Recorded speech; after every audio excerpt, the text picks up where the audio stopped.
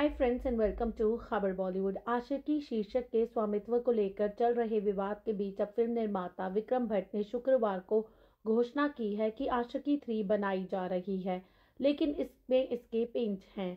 आशिकी की तीसरी किस्त। आशिकी थ्री नहीं, बल्कि एक नए नाम के साथ बनाई जा रही है। इस फ़िल्म का नाम होगा तुम मेरी पूरी कहानी। विक्रम भट्ट ने इंस्टाग्राम पर सेट से पर्दे के पीछे की कुछ छलकियाँ भी साझा की हैं। विक्रम भट्ट की पोस्ट में महेश भट्ट की पर्दे के पीछे की झलक दिखाई गई, जिसमें अनुभवी निर्देशक के प्रति उनकी प्रशंसा को दर्शाया गया। उन्होंने बताया कि जहाँ कई लोग आशिकी शीर्षक को लेकर संघर्ष में उलझे हुए हैं, वहीं महेश भट्ट एक नई कहानी के साथ आगे बढ़ रहे हैं, जिन्होंने मूल्य रूप से नई प्रतिभा और यादगार संगीत पर ध्यान केंद्रित करते हुए आशिकी मॉडल तैयार कर लिया है। महेश भट्ट को पोस्ट किए गए वीडियो में टीम के साथ काम करते हुए देखा जा सकता है। उन्होंने फ़िल्म के पूरे निर्माण में उनके समर्थन के लिए महेश भट्ट का आभार व्यक्त किया।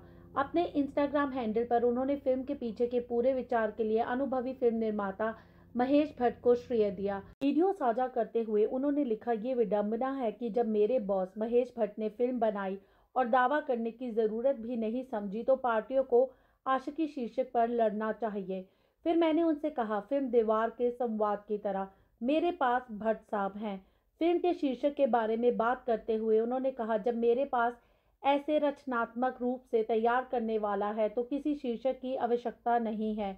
चलो इसे फिर से करते हैं। एक नया लड़का, नई लड़की की प्रेम कहानी, बेहतरीन संगीत के साथ। बॉस ने कुछ देर सोचा और फिर कहा, मेरे पास एक कहानी है। सुरेता इसे निर्देशित करेगी।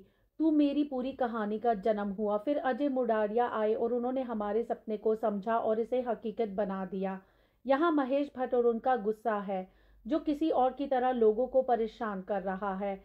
इससे पहले अजय ने अपने इंस्टाग्राम हैंडल पर अपनी आगामी फ़िल्म के बारे में एक अपडेट साझा किया था।